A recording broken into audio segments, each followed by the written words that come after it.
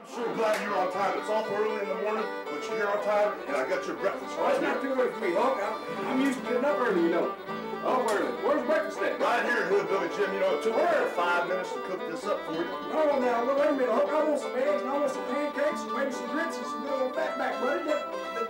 this ain't no fatback. What are you, you know, you're getting ready for the combat zone. I'm gonna get you in the, down to the gym and get you in shape, and this is some gasoline. High test I gasoline. can't drink no gasoline. You better drink it because this is what we need for this big old engine. We got about eight hours of hanging and banging. Go ahead, give it a little try. It's good for you. Well, I've e- yeah, there it is. Taste it. I've even got some vitamins, some piping. Oh, come on. That's awful, Hulk.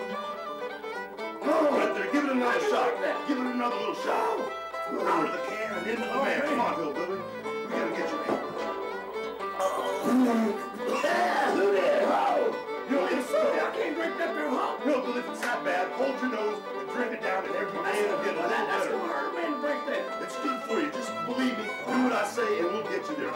You're just like one of them big old oak trees. Now we gotta get some big old I'm, I'm on gonna you. clap my nose, and I'm gonna Go for it. Oh yeah. As soon as you get done with that, straight to the gym. We're gonna get down on some of that heavy duty training, get you in shape. How's that? Hurt me. Come on, let's go hang bang. Let's go down to the gym. Come on.